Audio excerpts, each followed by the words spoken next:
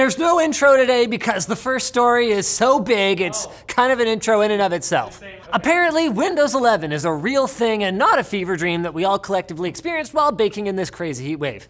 You know what I mean? I do. I feel like a french fry in this weather. I'm a fry. Eh. Anyways, it turns out the leaked version of the OS was legit, meaning Windows 11 brings a new glassy looking UI and improvements to touch, multitasking, and separate desktop environments. Teams is also built in, which is fine. And there's widgets, which people use. Gamers will be pleased by Xbox Game Pass integration and support for auto HDR and direct storage, which will make games prettier and faster. Kind of like a model that just had an energy drink. It's a dumb joke. And Android apps will be available in the Microsoft Store. Awesome! Through an Amazon App Store integration. Wow, less awesome. But sideloading will be a thing. Awesomer. The bigger thing though is how the Microsoft Store will allow developers to keep 100% of their revenue if they use third-party commerce engines, but not for games. But Microsoft also wants Steam and the Epic Games Store to be in the Microsoft Store. Confused? It's okay. Windows 11's TPM module requirement is way more confusing than that, because Microsoft didn't mention it at all in their presentation, and now people are scalping chips that most people won't need. Basically, most somewhat modern PCs will have no trouble upgrading to Windows 11 for free, but some custom-built desktop users and IT admins might have to enable the TPM setting in the BIOS. And yeah, it's a bit more complicated than that actually, but uh, what do you think this is? A Linus Tech Tips video? We actually are gonna do a video about that. Users of Western Digital's MyBook external drives were horrified to discover their devices had been wiped this week. Western Digital says that the likely culprit was malware that took advantage of an unpatched vulnerability known as CVE 2018-018472. I mean, I wouldn't try to patch that either. It doesn't sound very threatening. Some users have managed to salvage a bit of their data using recovery tools, but others have had no luck, partially because many MyBook drives use encryption. WD is recommending users to disconnect their drives from the internet as a precaution while they work on the problem, which makes sense because that is where malware babies come from.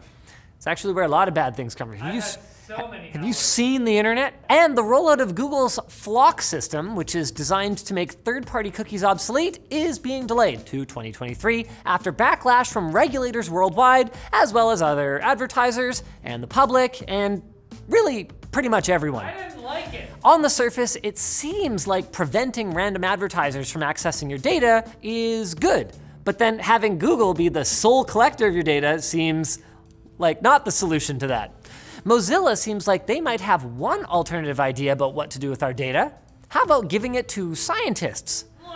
The company's Rally platform will allow users to share their browsing data with computer scientists and sociologists who will inject it with hormones to see what happens to Turn, the. no, it'll be used to analyze trends and inform studies about how people consume and share information. Oh. It won't help you see relevant ads about 50 other coats you might like after you search for a coat one time, and by the way, actually already bought it, but thanks for trying.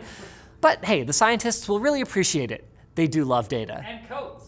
Riley, do you have a sponsor for me? I do. Now it's time for Quick Bits, brought to you by Brilliant, aka the fun way to learn stuff. You see, Brilliant has over 60 courses from basic logic and deduction to quantum computing, but there's no harsh grading, long lectures, or strict time limits. Brilliant's courses use active learning, where solving problems means playing around with visual concepts and interacting with pieces of a story that you put together. And you can learn about anything. Take the cryptocurrency and applied probability courses and win the meme stonk race to the moon. I don't know. But first, race to our link below because the first 200 people to click it get 20% off. So join Brilliant and its community of 8 million learners and educators at brilliant.org slash techlinked today. Butt quarks, made by and for scientists.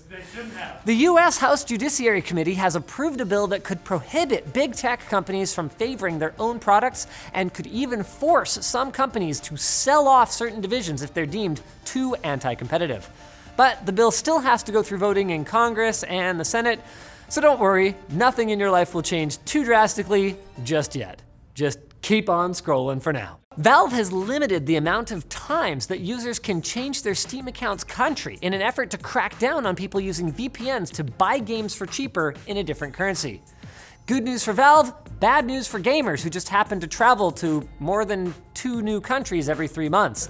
If you're one of those gamers, you have my condolences. What are we gonna do with the LMG PJ? Google will reduce the cut of app sales they take from Android developers from 30% to 15%. All they have to do is develop versions of their app for additional platforms, like Android TV, Wear OS, and Android Auto. It's unclear how this program interacts with Google's existing 15% policy for devs making under a million dollars, but I have a feeling that it doesn't. Hey, look! It's the Samsung Galaxy Z Fold 3 and the Flip 3 5G.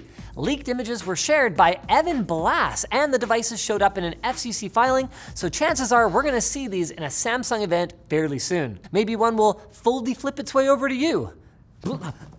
That would actually be kind of awful to see. And don't miss the Steam Summer Sale that's happening right. I was wondering why games are so cheap. Steam Summer Sale happening right now. If your wallet has the self-control to not jump at every deal it sees. I mean, I've trained mine very carefully. It almost never jumps. See, watch, look.